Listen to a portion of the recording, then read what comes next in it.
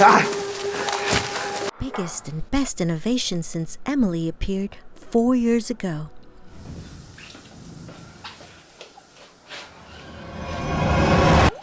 Emily, call the police.